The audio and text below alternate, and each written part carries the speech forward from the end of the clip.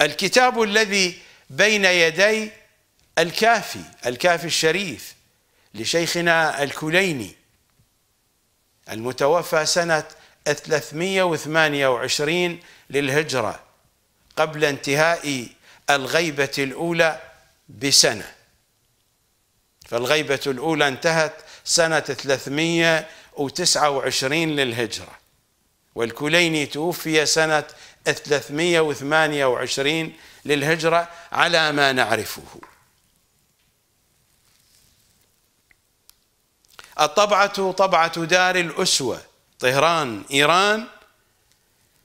باب في الغيبة صفحة 380 إنه الحديث الحادي عشر. بسنده بسند الكليني. عن المفضل بن عمر عن إمامنا الصادق صلوات الله وسلامه عليه. هذا الحديث مرارا وكرارا قرأته عليكم. حديث الرايات الشيعية العراقية المشتبهة التي لا يدرى أي من أي. هذا حديث عن رايات شيعية في العراق. المفضل بن عمر عراقي كوفي جعفي.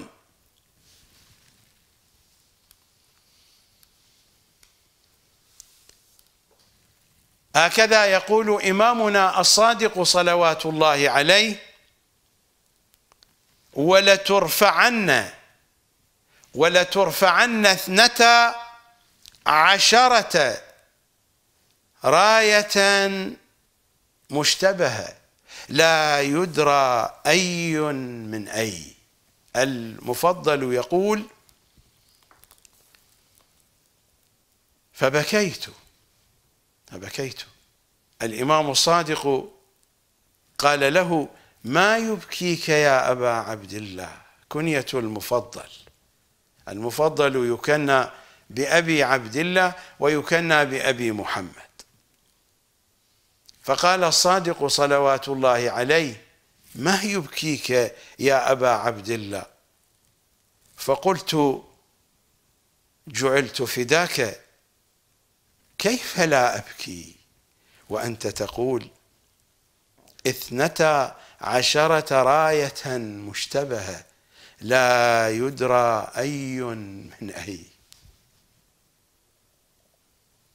ما مر في الحلقات المتقدمة من هذا البرنامج يخبرنا عن هذه الحقيقة في أرض العراق. إن لم تكن هذه الرواية تتحدث عن أيامنا هذه بالضبط وبالدقة فإن الذي يجري في العراق الآن مماثل بالتمام والكمال للذي تتحدث عنه الرواية. ربما الرواية تتحدث عن زمن قادم لكن الذي يجري على أرض العراق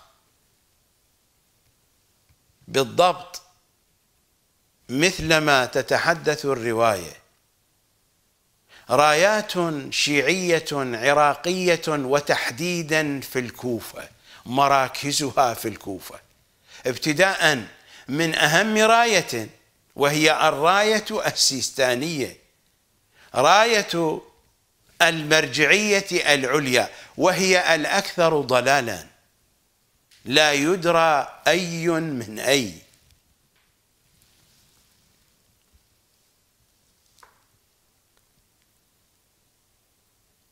المفضل يقول للصادق صلوات الله عليه بعد أن قال له إمامنا الصادق ما يبكيك يا أبا عبد الله؟ يقول له جعلت فداك كيف لا أبكي؟ كيف لا أبكي؟ وأنت تقول اثنتا عشرة راية مشتبهة لا يدرى أي من أي. كلها ترفع شعارات لمحاربة الفساد وهم غاطسون في الفساد من سقوف عمائمهم إلى أخامص أقدامهم.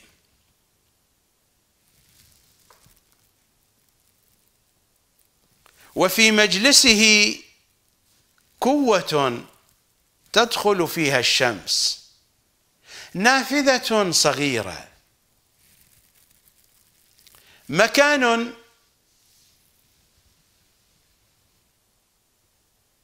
يمكن للإنسان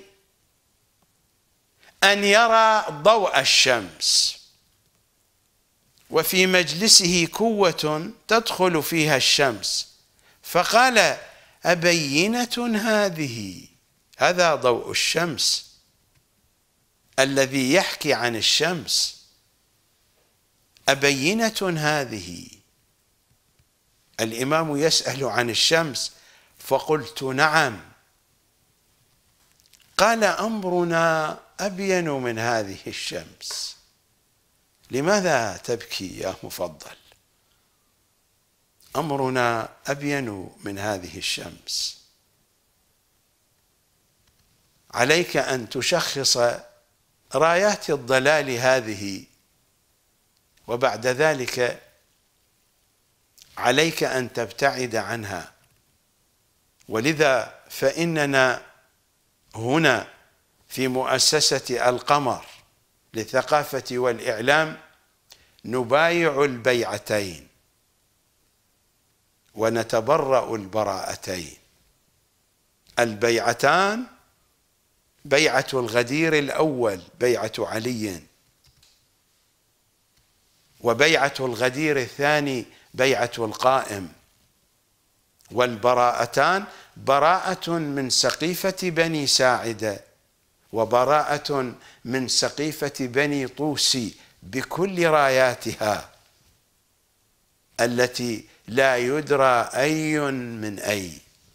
من راية سيستانيها إلى راية دعوتها إلى راية شيرازيها إلى كل الرايات.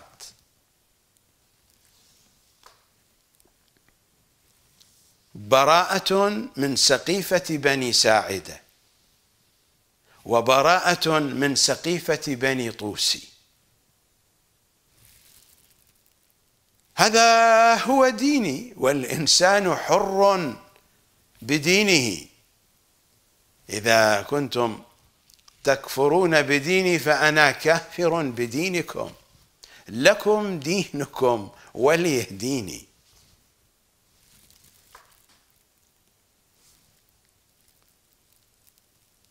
إمامنا وضع لنا قاعدة واضحة.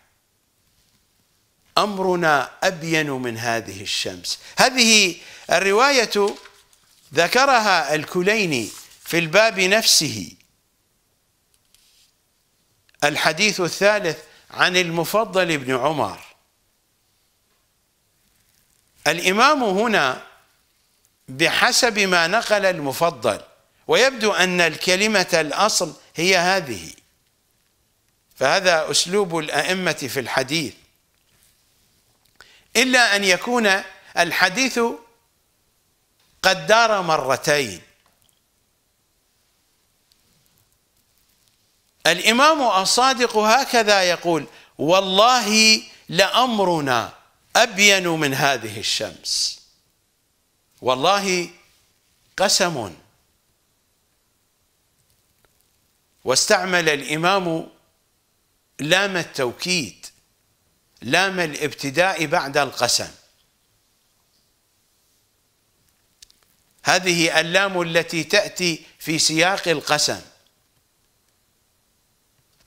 يقال لها لام الابتداء يقال لها لام التوكيد يقال لها لام القسم. أكانت توكيدا أكانت ابتداء أكانت قسما هي لتأكيد المعنى وتشديده وتحقيقه.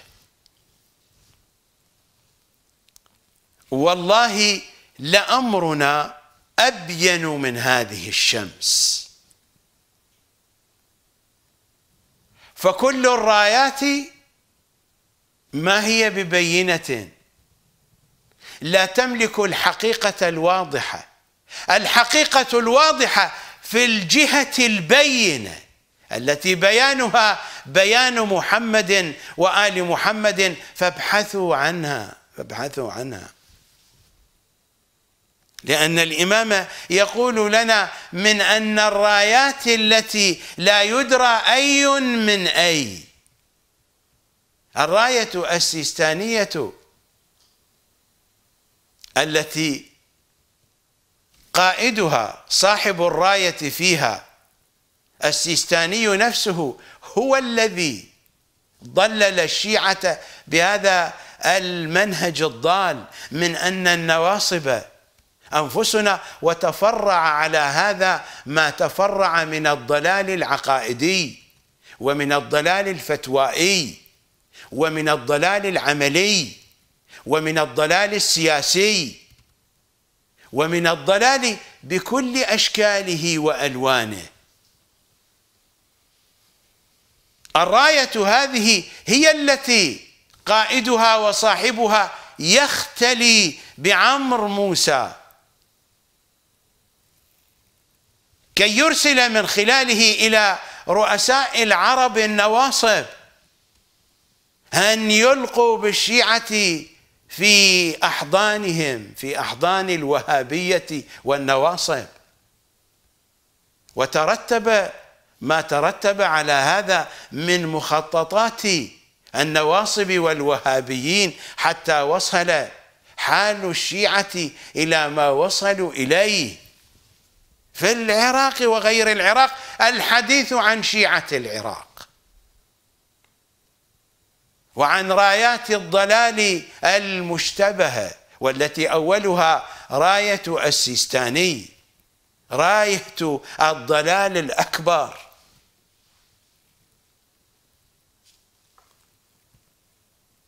الصادق يقول والله لأمرنا أبين من هذه الشمس. أمرنا أبين من هذه الشمس. كيف نتبين ذلك؟ أنا لا أفرض عليكم ما أعتقده وإنما أعرض بين أيديكم وأنتم احترموا عقولكم. إن بقي شيء منها فعملية إخصاء العقول في الواقع الشيعي قد بدأت منذ سنة 448 للهجرة حين أسس شيخ الطائفة محمد ابن الحسن الطوسي حوزة النجف المشؤومة. منذ ذلك الوقت وعملية إخصاء العقل الشيعي مستمرة. على أي حال هذه مشكلة الشيعة. هذه مشكلتي ومشكلتكم أيضا. سلمنا رقابنا لهؤلاء السفلة الذين يقال لهم نواب صاحب الزمان. هؤلاء الذين يصفهم صاحب الأمر. في الرسالة الثانية التي وصلت إلى الشيخ المفيد سنة 412 للهجرة بأنهم السباريت من الإيمان. سباريت يعني سرابيت لا إيمان عنده. السباريت من الإيمان مراجعنا العظام السرابيت. سرابيت باللهجة الشعبية العراقية. السباريت من الإيمان. لا أريد أن أتشعب كثيرا فلطالما حدثتكم وحدثتكم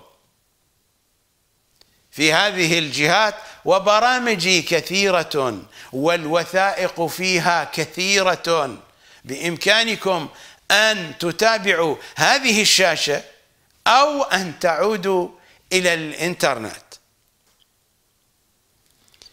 سأقف عند كلمة إمامنا الصادق صلوات الله عليه والله لأمرنا أبين من هذه الشمس. سأعرض لكم طريقتي في فهم كلام إمامنا الصادق وأنتم أحرار. هل تقبلون بها أو لا تقبلون؟ تلك مشكلتكم. ما هي مشكلتي؟ أنا أضع الحقائق بين أيديكم وأقول لكم بعد ذلك في أمان الله. نذهب إلى فاصل.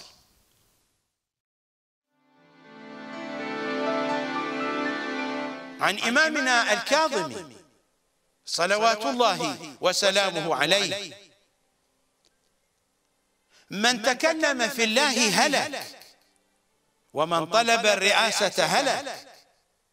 ومن دخله العجب هلك. اشتدت مؤونة الدنيا والدين. فأما مؤونة الدنيا فإنك لا تمد يدك إلى شيء منها إلا وجدت فاجرا قد سبقك إليه. وأما مؤونة الآخرة فإنك لا تجد أعوانا يعينونك عليه إمامنا الكاظم صلوات الله عليه يقول لأحد أولاده يا بني إياك أن يراك الله في معصية. نهاك عنها. وإياك أن يفقدك الله عند طاعة أمرك بها. وعليك بالجد ولا تخرجن نفسك من التقصير في عبادة الله وطاعته. فإن الله لا يعبد حق عبادته.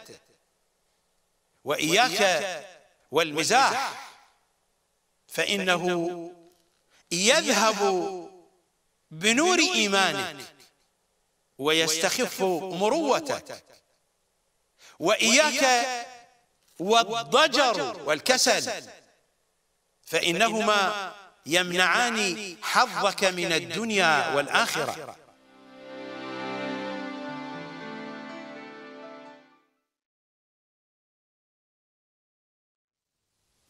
الكتاب الذي بين يدي كمال الدين وتمام النعمة لشيخنا الصدوق المتوفى سنة 381 للهجرة. الطبعة طبعة مؤسسة النشر الإسلامي قم المقدسة.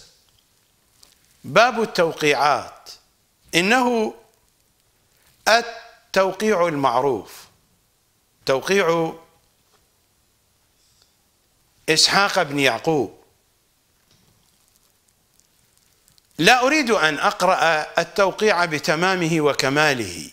فلقد قرأته مرارا وكرارا وشرحته مرارا وكرارا من جهات وحيثيات مختلفة.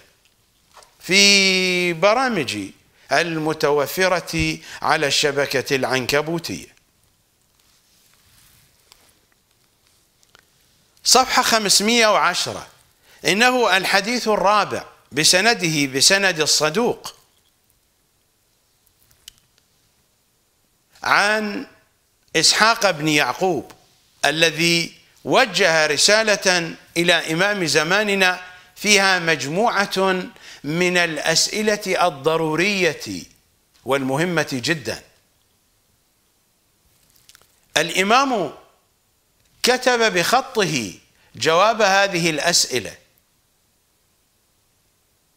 وأرسلها إلى إسحاق ابن يعقوب عبر السفير الثاني العمر الثاني رضوان الله تعالى عليه.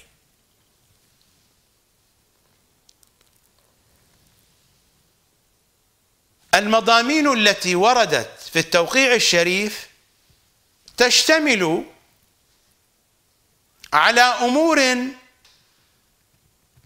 يشترك فيها جميع الشيعة. ولكن هناك نقاط دالة نستطيع من خلالها أن نميز الجهة التي تمثل أمرهم الذي هو أبين من الشمس. مثلما قال إمامنا الصادق صلوات الله عليه كما قرأت عليكم من الكافي. والله لأمرنا أبين من الشمس.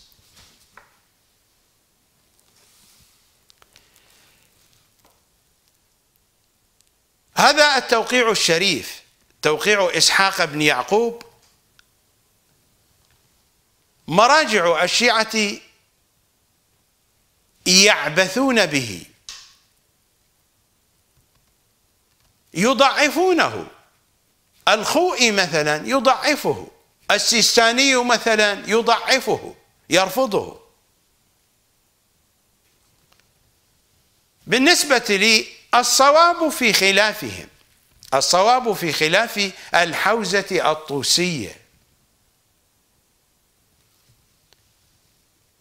حينما أجد شيئا يضعفه الخوئي يضعفه السيستاني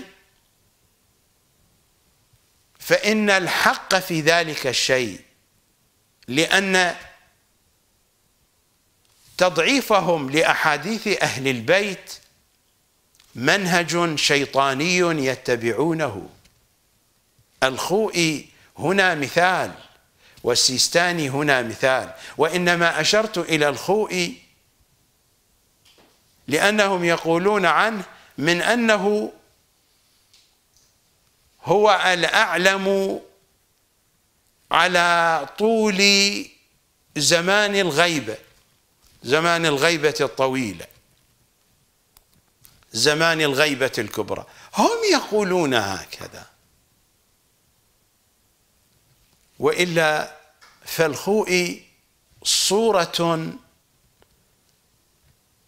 عملية وتطبيقية لمنهج البخاري رجالا ولمنهج الشافعي فقها واصولا ولمنهج المعتزلة عقائدا وتفسيرا. وهذا هو حال محمد باقر الصدر لكنه يضيف إلى كل ذلك الضلال القذاره القطبية والأخوانية. ينقع كل ذلك الضلال في قذارات حسن البنا وسيد قطب. وكذا هو السيستاني على نفس ضلال الخوئي قد تجدون الكلام شديدا لكن الحقيقة هي هذه. على الأقل بالنسبة لي.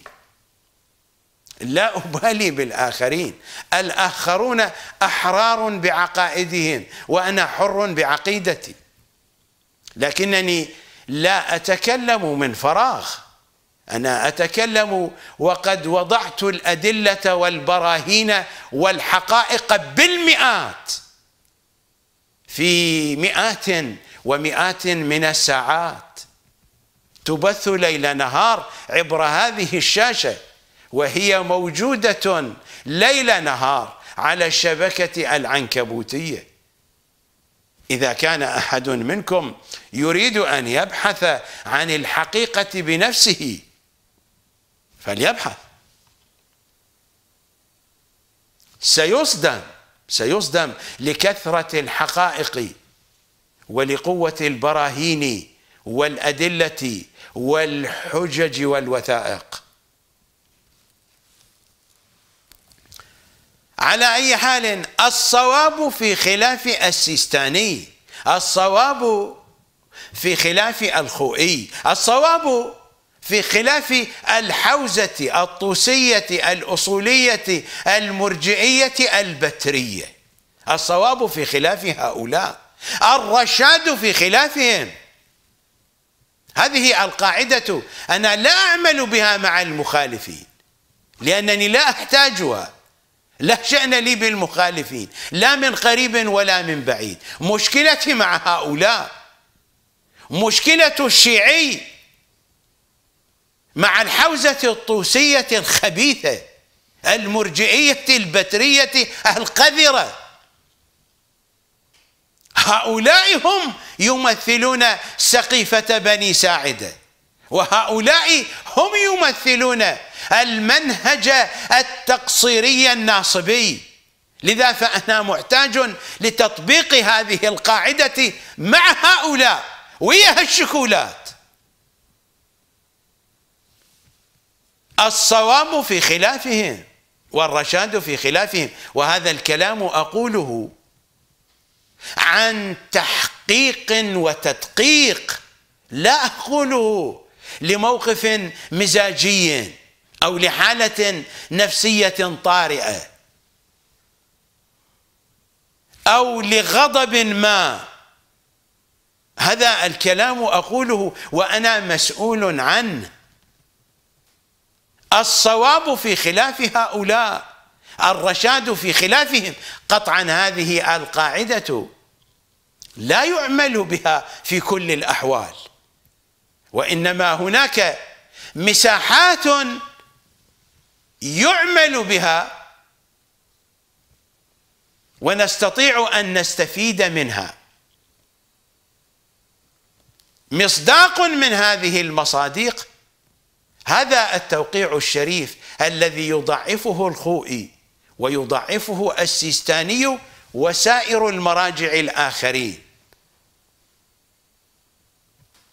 هنا نعمل بهذه القاعدة. الصواب في خلاف هؤلاء الضالين في خلاف هؤلاء الجهلة السفلة الذين ينكرون أهم توقيع وصل إلينا من إمام زماننا صلوات الله وسلامه عليه. في آخر التوقيع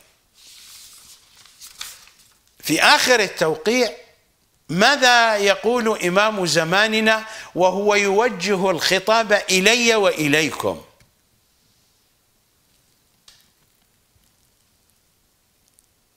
والسلام عليك يا إسحاق بن يعقوب وعلى من اتبع الهدى. إسحاق ابن يعقوب لا شأن لنا به. شيعي يسلم عليه الإمام هنيئا له. الكلام هنا وعلى من اتبع الهدى. هذه العبارة حينما ترد بحسب لحنهم بحسب معارض كلامهم إما أن ترد لبيان ضلال الذين يقصدون بها.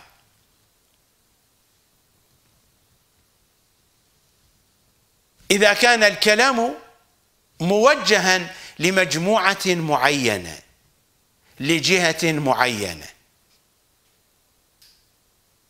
وإما أن يكون المراد مثل ما هنا حينما جاءت العبارة في آخر رسالة مهمة تشتمل على الكثير من المطالب المهمة. الإمام يريد أن يقول لنا ما جاء في الرسالة هذه علائم الهدى. على الطرقات توضع علامات المرور علامات السير. كي ينتفع الناس منها في سيرهم في حركتهم. الإمام هنا في هذا التوقيع الشريف وضع لنا علامات إنها علامات المرور. علامات السير المهدوي علينا أن نتفحصها.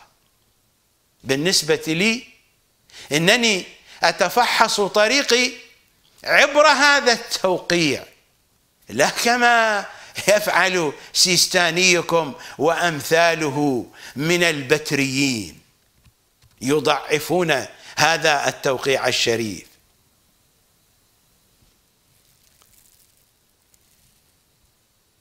علائم السير في طريق إمام زماننا قد وضعت في هذا التوقيع الشريف. ولذا فإني سأمر عليها.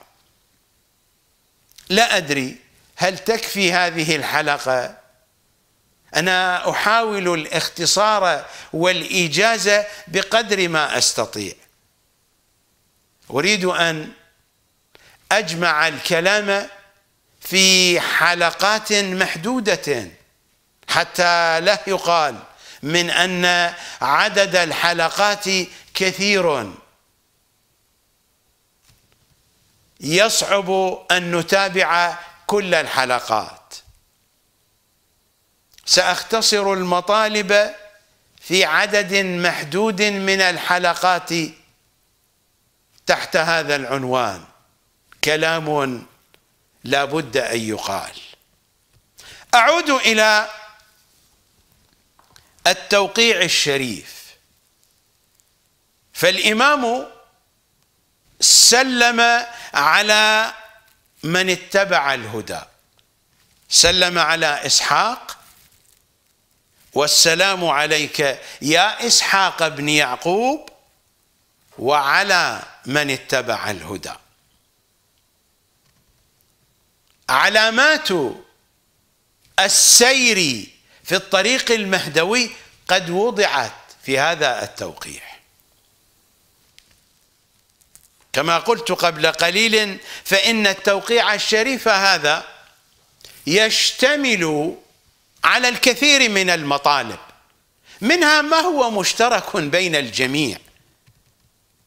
ومنها ما لا نستطيع أن نتبينه بوضوح؟ ولكن هناك علامات أساسية وضعها إمام زماننا في هذا التوقيع الشريف بإمكان الجميع أن يتبينوها.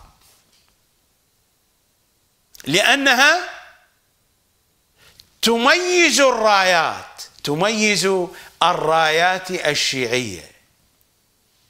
من خلال هذه العلامات نستطيع أن نميز الرايات وأن نميز الاتجاهات وأن نميز الجهة التي يسطع فيها أمر محمد وآل محمد بنحو بين كالشمس.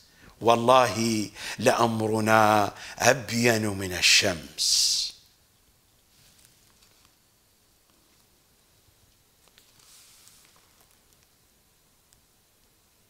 ماذا جاء في الكتاب الكريم؟ في سورة طه وفي الآية الثانية والثمانين بعد البسملة من سورة طه.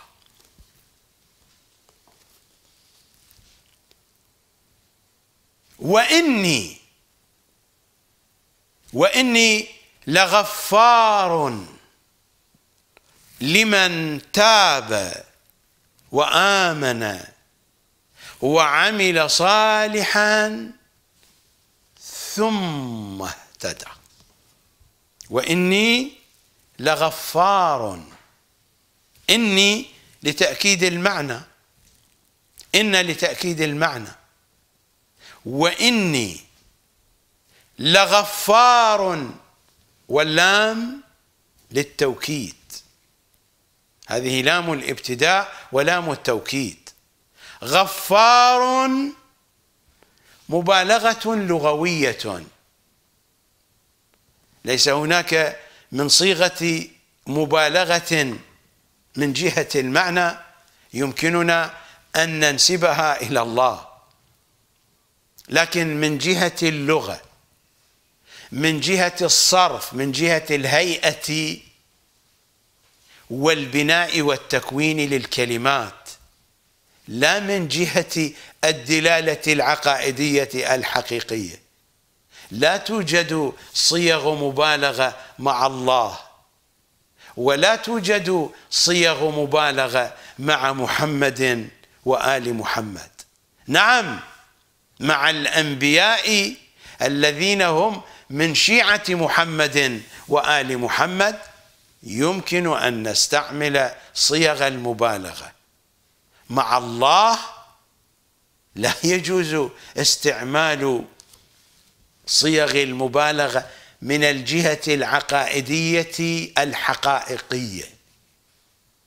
لغة نعم من الجهة اللغوية والتركيب اللغوي. والهيئة الصرفية والدلالة البلاغية بحسب الأساليب العربية في البيان. لكن من جهة العقيدة والحقيقة لا يجوز بأي وجه من الوجوه أن نستعمل صيغ المبالغة مع الله أو مع محمد وأهل محمد لأنهم وجه الله. فلا نستطيع أن نستعمل صيغ المبالغة مع الله ومع وجهه الأعظم. وإني لغفار إني لغفار. لمن تاب وآمن الواو العاطفة وعمل صالحا. ثم ثم العاطفة والتي كما يقولون تستعمل في التراخي والمراد من التراخي هناك فاصل وهناك مسافة ومساحة تقطع ما بين ما قبلها وما بعدها. وإني لغفار لمن تاب وآمن وعمل صالحا. هذا كله حسن ولكن كل هذا لا قيمة له. ثم اهتدى.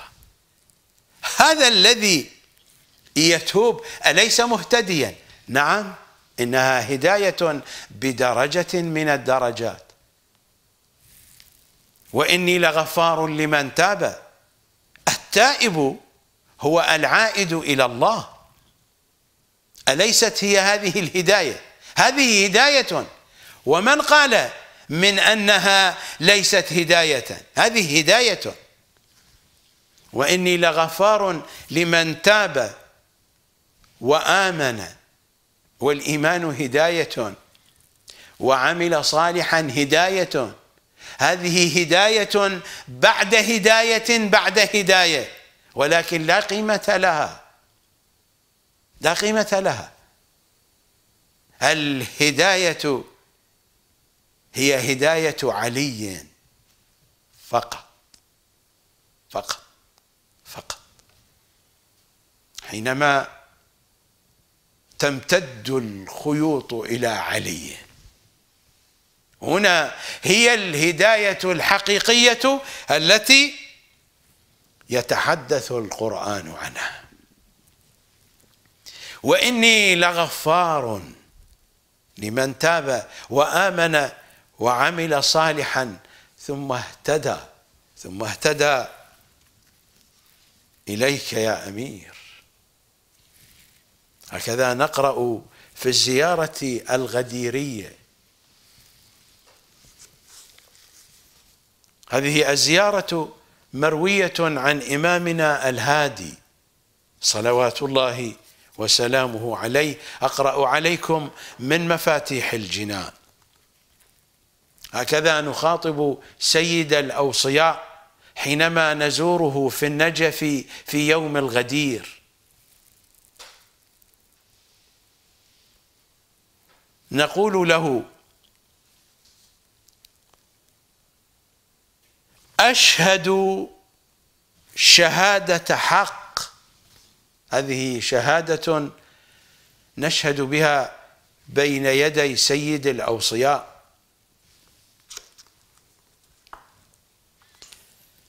أشهد شهادة حق وأقسم بالله قسم صدق شهادة وقسم. نحن لا نخاطب شباكا من الخشب أو من الفضة. هذا الشباك كعبة نتوجه إليها ليس إلا جهة. نحن نخاطب عليا. نخاطب عليا الذي هو أساس الحياة وجوهر الحياة. نخاطب عليا. نخاطبه خطابا حقيقيا. نخاطب أمير المؤمنين. نحن في محضره. أكنا في شرق الأرض أم كنا في غربها؟ أشهد شهادة حق وأقسم بالله قسم صدق أن محمدا وآله صلوات الله عليهم سادات الخلق. وأنك مولاي يا أمير الأمراء وأنك مولاي ومولى المؤمنين وأنك عبد الله ووليه واخو الرسول ووصيه ووارثه وأنه أن رسول الله وأنه القائل لك. هكذا قال لك يا أمير. والذي بعثني بالحق ما آمن بي من كفر بك. ما آمن بي من كفر بك. القرآن في سورة المائدة في الآية السابعة والستين بعد البسملة من سورة المائدة يا أيها الرسول الخطاب لي ولكم. القرآن نزل بإياك أعني واسمعي يا جارة كما يقول أبو جعفر الباقر صلوات الله عليه. القرآن نزل بإياك أعني واسمعي يا جارة. الخطاب لفظا للمصطفى معنى ومضمونا لي ولكم. يا أيها الرسول بلغ بلغ بلغ ما أنزل إليك من ربك. وإن لم تفعل فما بلغت رسالته. والله يعصمك من الناس. إن الله لا يهدي القوم الكافرين. الذين كفروا ببيعتك يا علي في سقيفة بني ساعدة. وفي سقيفة بني طوسي. في حوزة النجف. وأنه القائل لك يا أمير الأمراء والذي بعثني بالحق ما آمن بي من كفر بك. ولا أقر بالله من جحدك. وقد ضل من صد عنك. ولم يهتدي إلى الله ولا إلي من لا يهتدي بك. وهو قول ربي عز وجل وإني لغفار لمن تاب وآمن وعمل صالحا ثم اهتدى إلى ولايتك الزيارة هكذا تقول ثم اهتدى إلى ولايتك. على هذا بايعنا في بيعة الغدير أن نأخذ التفسير منهم. وهذا هو تفسير قرآنهم بايعنا في الغدير أن نأخذ التفسير من علي من علي من علي وآل علي فقط فقط. فقط. لا كما فعل الطوسي. لا كما فعل مراجع النجف لا كما فعل الخوئي ومحمد باقر الصدر والسيستاني.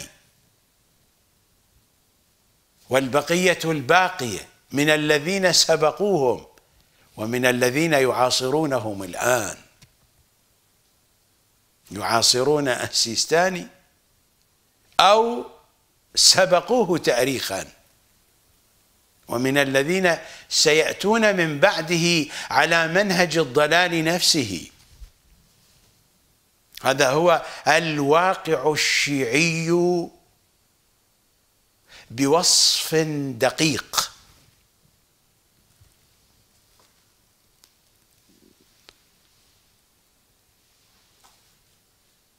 ولم يهتدي إلى الله. رسول الله يقول للأمير ولم يهتدي إلى الله ولا إلي من لا يهتدي بك وهو قول ربي عز وجل وإني لغفار لغفار لمن تاب وآمن وعمل صالحا واهتدى إلى ولايتك من لا يهتدي بك نحن مرة نهتدي إلى علي.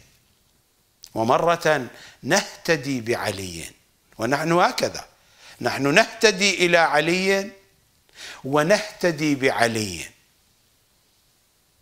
فحينما نقرأ في صلواتنا في سورة الفاتحة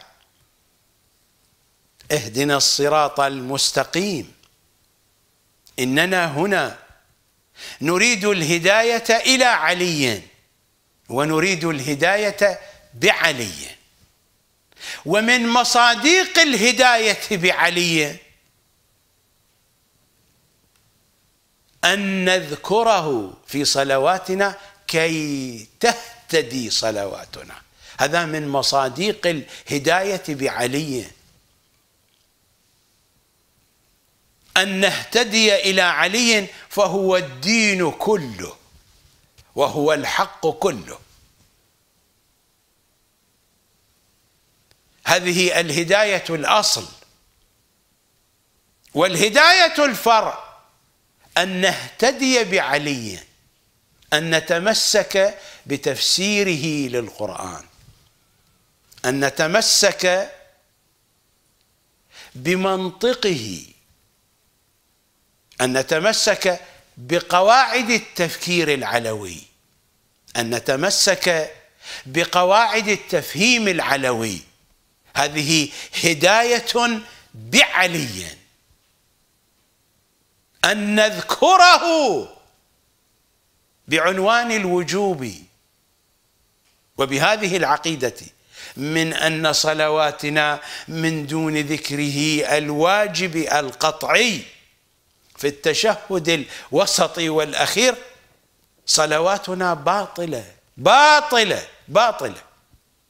من مصاديق أن نهتدي بعلي أن نذكره في صلواتنا وفي صيامنا أيضا في كل عباداتنا. جوهر العبادة ذكر علي صلوات الله وسلامه عليه. وهنا هكذا يخاطب رسول الله أمير المؤمنين ولم يهتدي إلى الله ولا إلي من لا يهتدي بك. هذه هداية بعلي وهو قول ربي عز وجل وإني لغفار لمن تاب وآمن وعمل صالحا ثم اهتدى إلى ولايتك. هذه هداية إلى علي إلى ولايته. مرة نهتدي به ومرة نهتدي إليه.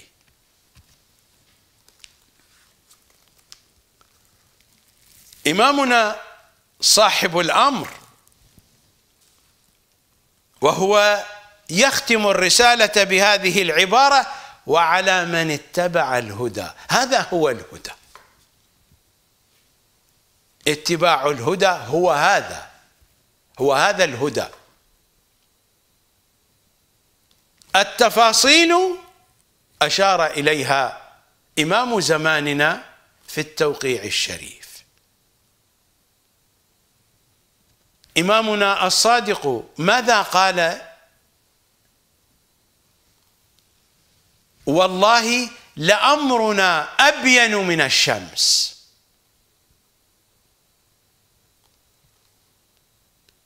أمرهم دينهم. ودينهم يبينه إمام زماننا.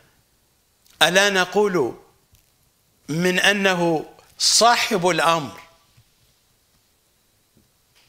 فهذا هو الأمر الذي يتحدث عنه الصادق من أنه أبين من الشمس. والله لأمرنا أبين من الشمس. إنه الأمر الذي نقصده ونعتقد به حين نخاطب إمام زماننا من أنه صاحب الأمر صلوات الله وسلامه عليه. الأحاديث هكذا أخبرتنا من أن الله إذا أراد برجل خيرا جعله على هذا الأمر. على أي أمر؟ على هذا الأمر الذي هو أبين من الشمس. نذهب إلى فاصل.